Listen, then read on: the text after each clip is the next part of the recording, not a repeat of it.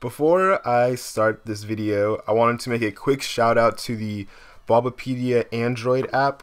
I'm not sponsored in any way, shape, or form by Bulbapedia, but there are a lot of Pokemon bios that I put together for this episode, and all of these, including the Tropius one that I showed last time, uh, that I was really able to up my, I guess, productivity with this app. I use Bulbapedia for the I say for um, the majority of my non mechanics research that I do, I do in Bulbapedia. So everything that has to do with specific Pokemon, like for Pokemon bios, I go to Bulbapedia for.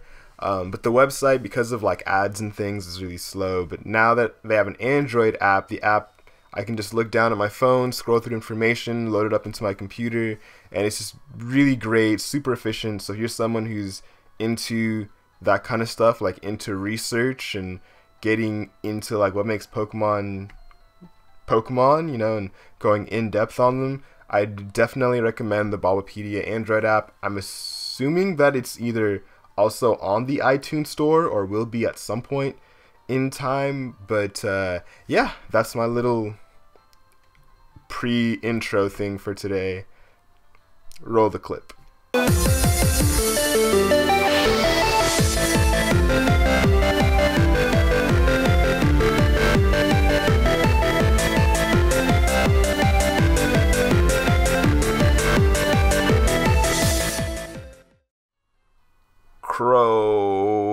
Gunk dudes and dudettes. My name is Speed Akpodiete, but you can call me Speed for short. And welcome to the next episode of my Pokemon Platinum version walkthrough. Last time around, we fought off our rival Barry right in front of the Pastoria City gym, and I told you guys that we won't be going into the gym this time. Instead, we'll be taking on Pastoria City's uh, pride and joy, the Great Marsh. Observatory Gate. Uh, let's not waste any time and just go ahead and head right in. I've got tons of notes that I gotta go through for this for this video. Uh, let's go upstairs first. The Great Marsh is like a big safari where you can catch wild Pokemon and things. Uh, well, not and things. You can, yeah, you can you can get items here too. Let's see. Tell me if I'm not imagining this. The Great Marsh's Pokemon seem to be different from the ones yesterday. This is true. Some of the Pokemon will rotate around. There's shuttle trains in the marsh called quick trains. You take those if you're going to a deeper area in the marsh. I wonder what's this. Pokemon magazines. mm, just want to see if these guys have anything interesting to say. Walking on the bog, sometimes sink right in. Something pretty cool about it, though.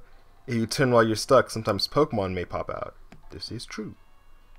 Binoculars to look out over the Great Marsh. You can see what kinds of Pokemon can be caught and where they are.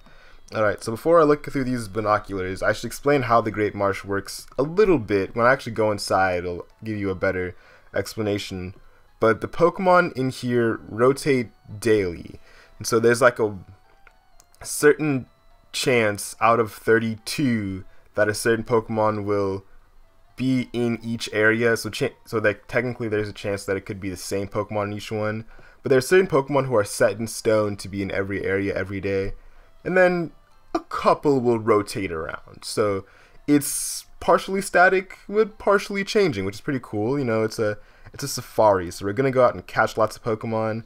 Let's go ahead and take a look through these binoculars and see what Pokemon we might catch. Costs $100 or 100 Poke Dollars.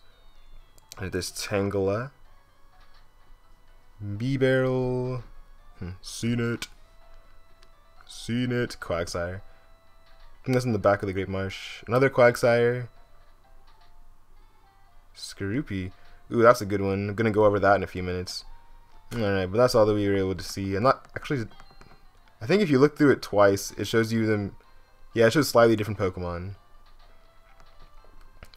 Bibarel, Tangela, Wooper, Tangela.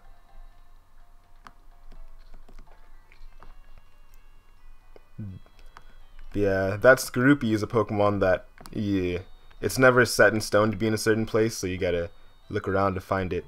Howdy, you're playing the Safari game. How would you like to try my game out at the same time? what? it's a game within a game within a game. It's Gameception. The rule, yep, there's only one, is real simple. All you have to do is capture five or more Pokemon in one Safari game. If you do that, she gives the Poketch app matchup checker. You can use that to see if Pokemon are compatible to be left in the daycare together. This is my first Safari game. When enter, will be given 30 Safari balls. Nah, I can. I'm pretty sure I can. Uh, what's it called? I can explain this pretty well when we get in there. In the Great Marsh, home of Story City Safari game. And it's just 500 Poké Dollars for 500 steps.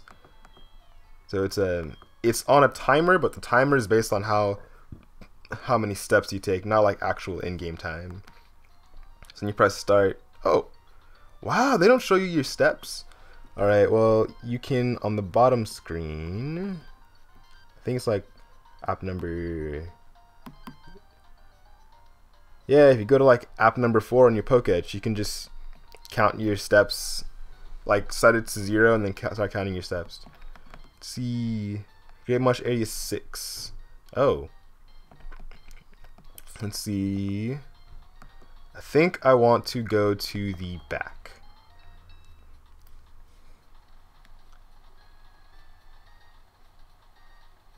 The uh, odd numbered areas are on the left, the even ones are on the right. So it goes 1, 2, 3, 4, 5, 6.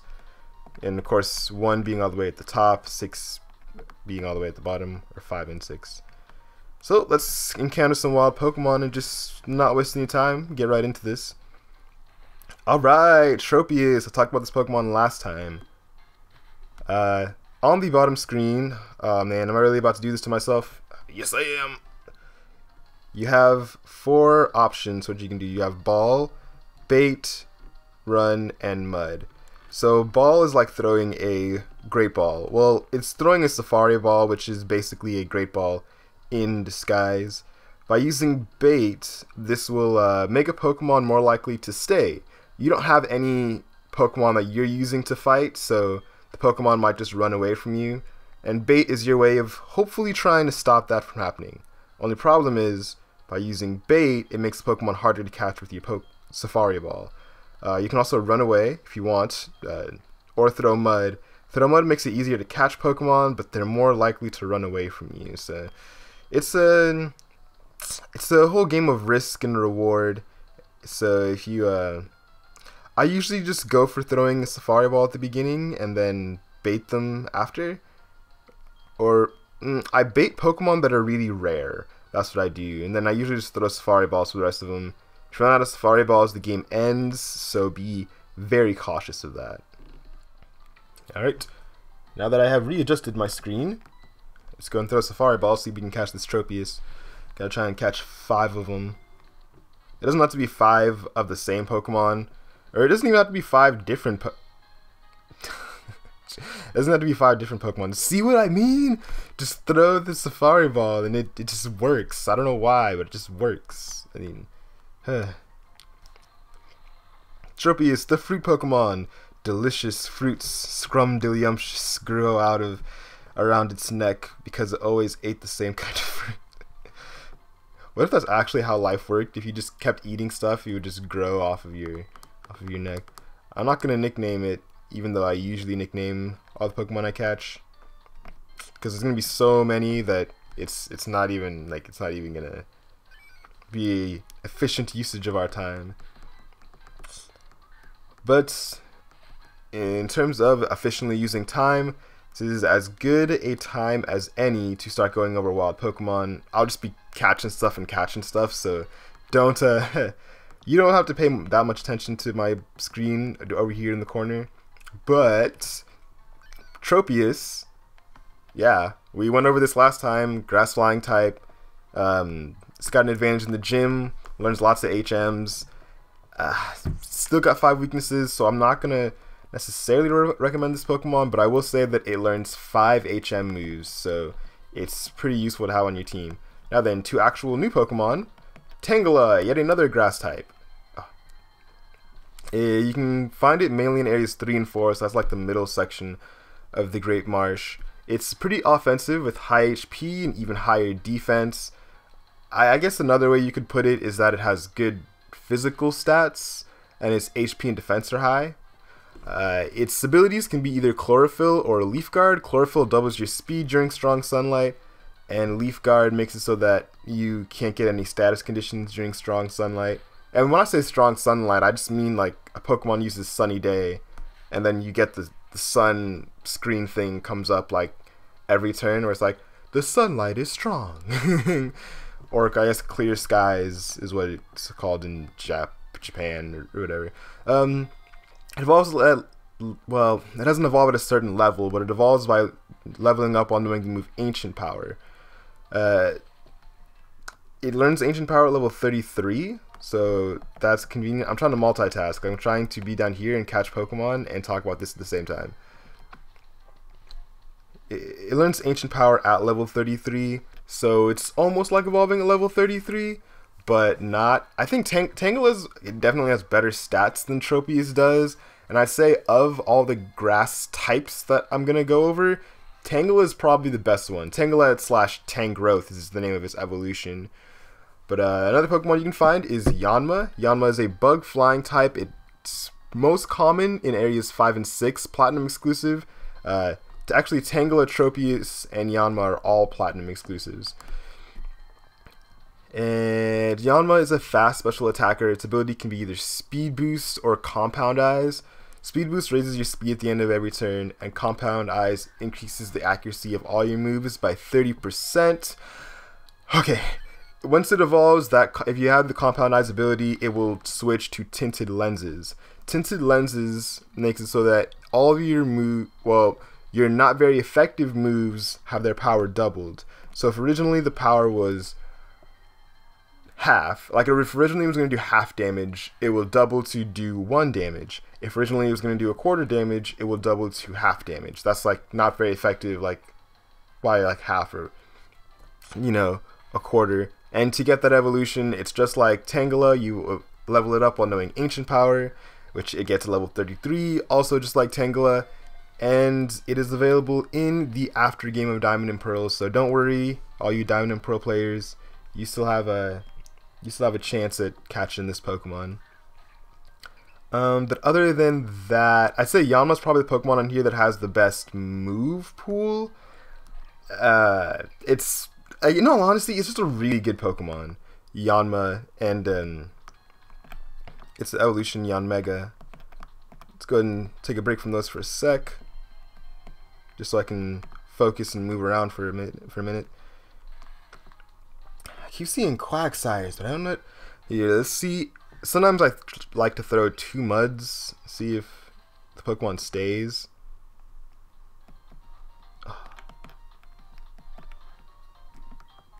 It's gonna be hard to get every item to Pokeball. If you look really closely, you can tell where there's bog and where there's not bog.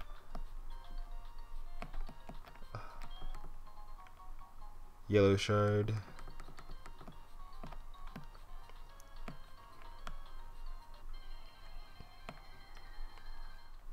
Hmm, this is proving harder than I thought. Oh. Hmm. I think what I might have to do is... Yeah, it looks like what I might have to do is uh, go through once for the items and then come through a second time to try and catch five Pokemon so I can give you get you guys that Poketch. It's blue shard right there. Let's see. It's parasol lady. The trainers in here aren't gonna fight you by the way. Let's see what we got. Another Tropius. Alright. Uh let's talk about a Pokemon that's not Tropius. If you use a good rod in any of the areas you can catch the Pokemon Barboach. Barboach is a water ground type. Its uh, its stats are not amazing, but its move pool is is a little bit more reconcili- reconciliable. Uh, I definitely think Quagsire does better in the move department and the stats department than Barboach does. With the same typing, Water Ground is good. It's uh, only got one weakness, which is Grass. Its ability can be either Oblivious, which means it cannot become infatuated, or Anticipation, which uh, alerts you if your opponent has a super effective or one hit KO move in its learn set. It evolves level 30 into Whiscash, and I mean, like I said, it it's not a bad Pokemon, but I feel like Quagsire just does what Barboach is trying to do a little bit better. And then there's a few Pokemon that are rotating, or at least that's how I wrote it down in my notes. This just means that the Pokemon it's it's here, but it can rotate and exist in different areas on different days, and that's what the one in 32 chance I was talking about earlier is all about. And the first one is Carnivine. Carnivine's a grass type with the levitate ability, which means it takes zero damage from ground type moves, which is cool when you first think about it, but then you realize, oh wait, ground type moves are not very effective against grass types anyway. Uh, I don't know what would have been a way to reconcile this. I think it would have been cool if they gave it a new ability that, like, I don't know, made it immune to like grass and poison type moves. They could call it like, um, not acid armor because that's already something, but they'd call it a. I don't know actually. Skorupi! Hey! This is the next Pokemon that I was going to talk about. Uh, Skorupi, poison bug type. It's, uh... Here, let me just scroll down to my notes really quick. There we go. Skorupi, poison bug type, fast and defensive with high attack stat. I'm going to go ahead and maybe use some bait to try and keep it here for a second. Its uh, abilities can be either battle armor, which protects Skorupi from critical hits, or sniper, which makes your critical hits do 3 times damage instead of 2 times damage. Slight note, it uh, its move pool is pretty poor when you first catch it, so uh, be aware and conscious of that. Use TMs and move tutor moves for sure. It can uh, it can even it even gets access to the Fang moves by taking it to the move reminder after you evolved into Drapion. So there's a good opportunity to do that.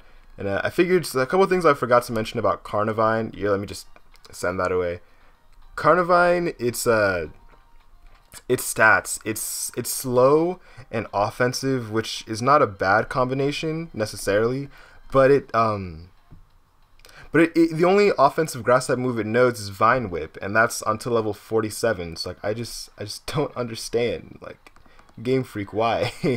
um, at level 47 it does get Power Whip, but that's a little very far off from the level that you catch it at. Most of the Pokemon you find here will be around level 30, so they'll have their respective, you know, grass type moves and things, which is cool. Ooh, I think I might actually be able to catch this Pokemon.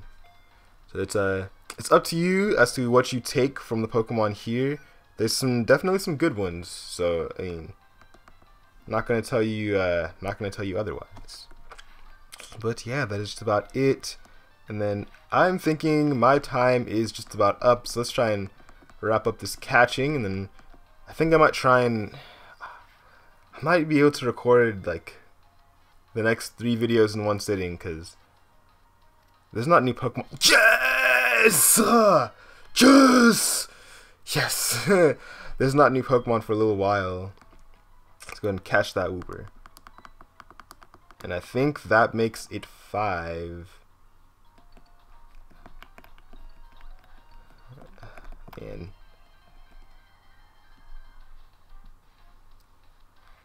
Oh. Yanma. Oh. Nice to meet you, sir.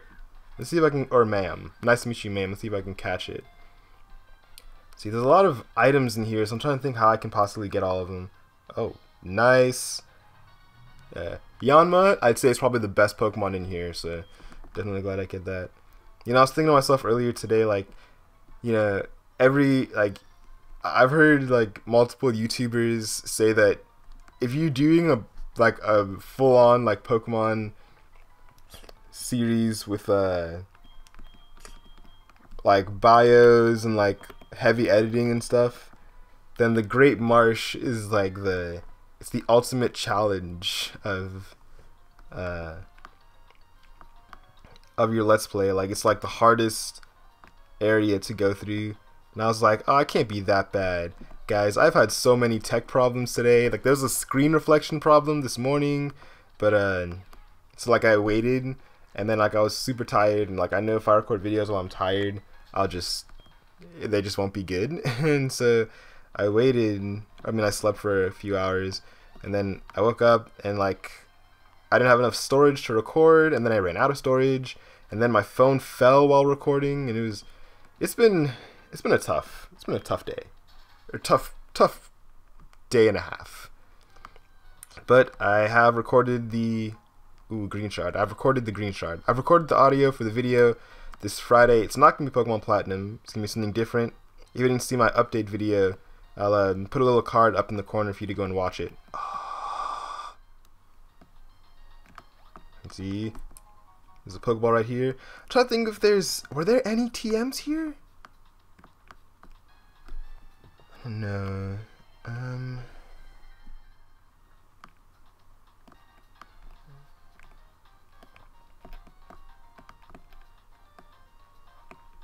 Uh, I will make it out of here alive. Oh, the bug. Oh, the bug. Alright. Let's not make that mistake again. Come this way. What do you have to say? Fix up during a safari game. I don't collect shards, so you can have it. Oh, blue shard. Convenient. See, I got about about a hundred steps left. Quick, quick, out in the sticks. To and fro we go. We're quick. If you're thinking about going deep into the marsh, I recommend you take the Great Marsh quick trams. I guess they're pretty quick. But are they Jesse quick? Uh, let's see. There's another item up there. I think this one's this is a good one. This is a good one. I can feel it. It's actually a great one. Ha ha ha ha game, you're so funny. Um let's see. Now I know in the, in the after game there's a lot of new Pokemon that are available here. Like one example is Shroomish. So I think this is the area where I first caught a Shroomish, which I thought was really interesting. Which I never understood what type it was until I found out it was just a normal gra grass type. Um,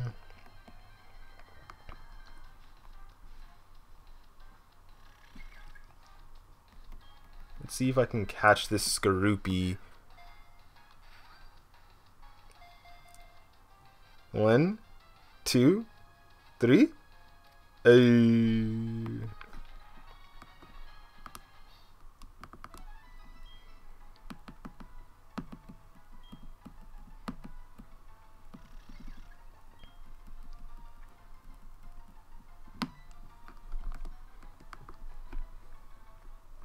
Alright, well, as much as I would love to explore every...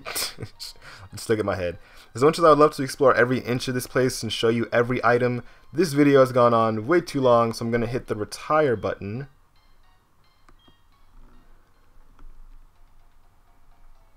I had about 30 steps left. So, how many Pokemon did you catch in your Safari game? At least five? Ah, yup. You've done that alright. Isn't that a something? Well, here you are then. The Poketch matchup checker. Awesome, let's go ahead and add that to our Poketch. And I guess that's our prize for doing well in the Safari game. But yeah, you guys know I don't like to do super long videos because of course I feel like it's not an efficient usage of I guess your guys' time. Like I don't want to waste your guys' time and spend a bunch of time on something when I know that it the majority of stuff in this game can be like split off into about 15 minute parts. That's where I like to keep the videos. But um, I'm trying to think. There's something else that I might want to show. Uh, this is the team that I'm going to go with into the gym. I recommend having one electric type and one grass type. Uh, yeah, Tangela is good. If you if you caught a Shinx in the beginning of the game, that one will work pretty well. Um, I mean, Cheren is an electric type that has levitate, which is very rare. So I'm probably just gonna use Sharon for the majority of it, then have Popo sub in like when I need her assistance. But that is it. My name is Speed Akpodiete, but you can call me Speed for short. And next time around, it's time to finish what we came here for. We're gonna make some heads roll. Alright, cue the end screen. It just doesn't have the same ring to it. Cue the end card.